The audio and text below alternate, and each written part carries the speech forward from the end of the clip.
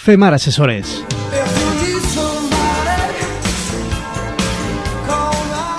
FEMAR Asesores continúa dando un completo y profesional servicio integral a sus clientes. Se han hecho realidad nuevas alianzas estratégicas con la firma de auditoría Audiser y el despacho de abogados multidisciplinar Bufete Carmona, conformado por el grupo CIE, ampliando así la oferta de servicios profesionales. Tramitación PAIT de creación de autónomos y sociedades, liquidación de todo tipo de impuestos, confección de contabilidad, confección de nóminas y seguros sociales, asesoramiento y planificación fiscal, laboral y contable, defensa jurídica en todo tipo de procedimientos judiciales, valoración de empresas, auditorías de cuentas obligatorias y voluntarias, auditorías de compras de empresas, auditorías fiscales y auditorías de subvenciones. FEMAR Asesores, todo un ejemplo de empresa antequerana que apuesta por Antequera, aun en tiempos de crisis. FEMAR Asesores en Plaza Fernández Villegas 5, teléfono 95270 2274 y 95270 0400, Antequera.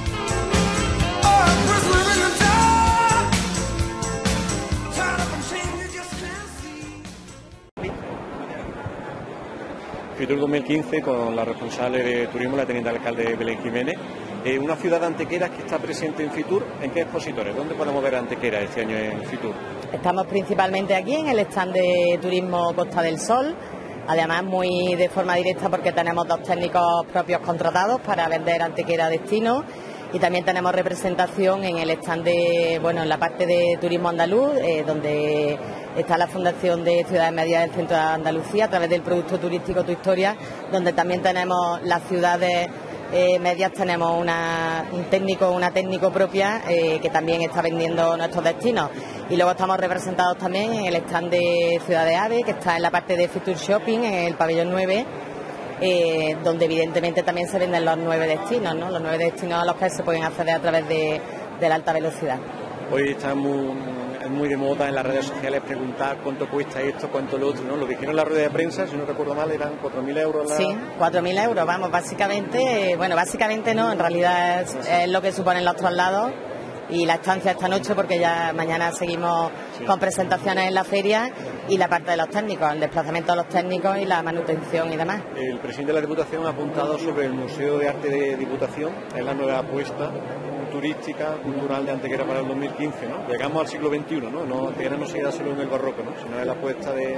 Bueno, yo voy a recordar que hace cuatro años precisamente, en nuestro FITUR 2012, fue la apuesta de Mar de Cultura, que también se ha dicho muchas veces dónde se ha quedado esta apuesta de diputación.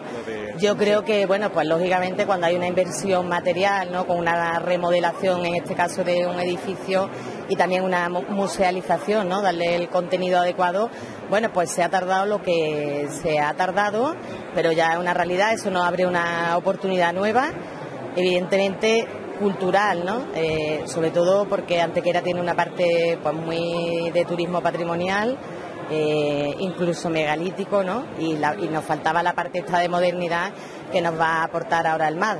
Eh, en principio eso, pues lógicamente va a conllevar también a una oferta turística importante, ¿no? Hay mucha gente que, que bueno, que le mueve precisamente, pertenecen al segmento de turismo cultural y la parte esta de arte pues obviamente es una nueva la una nueva del museo puede hacer que actividades del CAR del Museo Picasso de Málaga de Diputación vengan ante que se, se intenten hacer unos circuitos aprovechando pues yo en principio creo que la, idea debe ser esa no eh, Diputación eh, ha dicho ya en numerosas ocasiones que que cuentan o, contamos ¿no? en la provincia de Málaga con, con mil obras y la idea yo entiendo que habrá una parte de exposición permanente y luego el resto pues la pues harán pues entiendo que por épocas por autores no sé exactamente cómo tienen planteada la, la musealización y también supongo que se aprovechará como hay salas de exposición itinerantes pues se aprovechará entiendo que la sinergia con Málaga no que duda cabe la Diputación tiene su su, sede ¿no? y su principal foco cultural en Málaga, pues algo vendrá Antequera, entiendo. Si le parece como un pequeño resumen de estos cuatro años ¿no? al frente de turismo en Fitur, en estos cuatro años una de las cosas que se ha apostado es abrir los monumentos. Se sigue con ese proyecto que al menos los fines de semana, uno o dos días, la iglesia van, van abriendo, ¿no? para que no estén todos los días cerradas como se ha cuestionado muchas veces. Sí, bueno, eso fue también en el segundo año de Fitur, que fue antes que era ciudad de la iglesia. Es verdad que tenemos un patrimonio religioso magnífico, una arquitectura religiosa que es envidiable. Y bueno, eso en, este caso fue a través de un convenio, como saben, con la agrupación de cofradías directo y yo creo que también, bueno, pues a través del área de patrimonio también se está apoyando al resto de las cofradías de Gloria. Y yo creo que es que la Semana Santa y todo lo que es el patrimonio eh, cultural y todo el arte que, gira en torno al mundo eclesiástico, pues desde luego es fundamental en nuestro caso, ¿no? El 80% del patrimonio de la provincia de Málaga que tiene Antequera, no sé en qué porcentaje, pero desde luego en un porcentaje altísimo, seguro que corresponde a esta iglesia y a su contenido. El tema de la apertura, entiendo que se respetan los, horarios. En nuestro ánimo, desde luego, está que se sigan abriendo, no solo el fin de semana, ¿eh? también durante la semana es importante, hay turismo, yo creo que en Antequeria ya, aparte de que los fines de semana eh, se ve más gente, verdad que durante la semana también hay. Quiero recordar que de hecho a través de, del producto Tu Historia se empezó a apostar por la apertura los lunes porque nos dimos cuenta que después de los fines de semana, el día que más visitantes teníamos había sido los lunes, entonces pues decidimos no perder esa oportunidad porque además verdad que el lunes es un día bueno, que en casi toda España está todo cerrado y bueno, pues Antequera, pues como tiene recursos naturales como el Torcal, pues tiene de sobra eh, y eso complementado con las iglesias que también algunas hay que abrirlos. a veces hay dudas de cuesta entrar, no cuesta entrar, mm, que sea de Antequera, que si hay descuento. ¿Le importaría recordarnos qué mm, tarjeta hay para que los antequeranos puedan visitar, si hay días que hay ofertas especiales? Venga, la ruta de la iglesia de Semana Santa es gratuita. Eh, lógicamente hay un convenio económico por detrás porque todo el mundo tiene que entender que abrir una puerta, encender unas luces, eh, bueno, en el caso este son personas de las propias cofradías, con lo cual el personal de apertura no cobra, pero en el resto de los casos pues se entiende que para soportar o sostener en este caso un recurso turístico pues hay personal detrás y sobre todo en el caso de eh, personal profesional, ¿no? como es el caso de la colegiata, por ejemplo, y de, y Alcazaba, ¿no? nuestro castillo de Papabellota. Ahí el equipo de tu historia lógicamente tiene que cobrar porque tiene que mantenerse. Hay un personal súper profesional que da un servicio que además también tengo que decir que es envidiable, del que estamos todos los antequeranos yo creo que muy orgullosos. Pero hay una tarjeta que se llama la tarjeta eh, Tu Historia Antaquira y bueno, tiene varios precios según la, modalidad. De memoria recuerdo el del precio de adulto por 6 euros al año tiene entrada gratuita tanto a la colegiata como al castillo, al Museo de la Ciudad, la Iglesia de San Juan de Dios, la exposición permanente de arte taurino y bueno, también se incluyó en la tarjeta los dólmenes, que aunque todo el mundo sabe que, la entrada es gratuita, pero bueno, por, por ofrecer un poco el, todo en conjunto, ¿no? En el caso de las familias numerosas, por ejemplo, pues mm, me cuesta o nos cuesta 10 euros para todo el año, ¿no? Yo creo que a partir de cinco miembros, la verdad que estás pagando lo que es la tarjeta en sí. Luego, esa, bueno, eso es el acceso libre, ¿no? Luego, luego si quieres hacer uso de algún servicio específico, pues en el caso de tu historia tiene un descuento de un 50% en sus productos y en el resto de los casos, que en concreto es el Museo de la Ciudad y la Iglesia de San Juan de Dios, pues que aprovecho también para recordar que desde no hace ni un año hay una audioguía en cinco idiomas ya eh, pues disponible para su uso, que es que cuesta un euro. Estamos hablando que realmente lo que estás pagando es el servicio de la audioguía, o sea que no hay ningún ánimo de lucro ni nada. Yo entiendo que eso, eh, traducido correctamente, con la intencionalidad que se tiene que traducir, pues no hay ningún ánimo de lucro, como es lógico por parte del ayuntamiento. ¿no? ¿Qué le faltaría a Antequera turísticamente? ¿Hay algún monumento que se pueda abrir? ¿Hay algún proyecto en mente que hiciera falta? Hombre, siempre hay cosas por, por hacer, ¿no? Evidentemente hay, pues, por ejemplo, los conventos, ¿no? Es una cosa que yo creo que llama mucho la atención, pero los conventos, conventos son y no son visitables.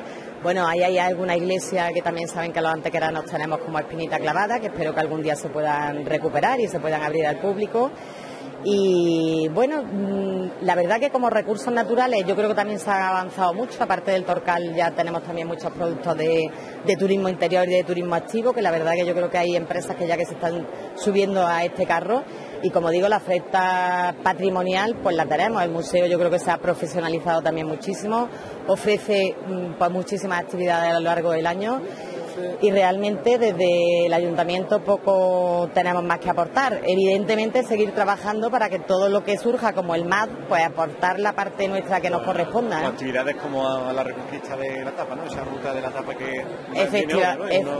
Claro, porque estos meses siempre enero, febrero son los meses más bajos desde el punto de vista del turismo y de la economía en Antequera y ya se hizo el año pasado la primera eh, ruta gastroturística y este año vamos a repetir, la presentaremos seguramente esta semana próxima precisamente para cubrir pues un poco el mes de febrero que es el mes que en principio después del carnaval y de la semana después del 14 después del carnaval será y bueno, yo creo que este año febrero va a ser un mes también fuerte, porque además el año pasado fue un gran éxito y eh, aprovechamos la Semana Blanca. también recorriendo los Ruta, sí, ruta. la idea es hacer ruta en la misma línea del año pasado. Si estuviéramos aquí dentro de cuatro años, ¿qué le gustaría a Belén o qué proyectos tendría en mente de realizar para que Antequera siga mejorando en, en turismo? Ya veremos, queda mucho por hacer, ¿no? Pero yo creo que las bases están sentadas, yo creo que el tercer año, que fue el año pasado, se sentó una base muy importante que yo creo que la gente no, no es consciente de la importancia que tiene, que es dotarnos de un material, un soporte material de promoción turística antequera, pues serio, ¿no? Y acorde con la realidad, que queda mucho camino por hacer, pero bueno, pues espero que dentro de los, los sucesivos años, pues Antequera tenga muchas más oportunidades. Ya han visto que no paramos de, de abrir eh, Antequera al mundo, ¿no? Bueno, lo dejamos que sea que tiene que seguir promocionando Antequera. Muchas gracias.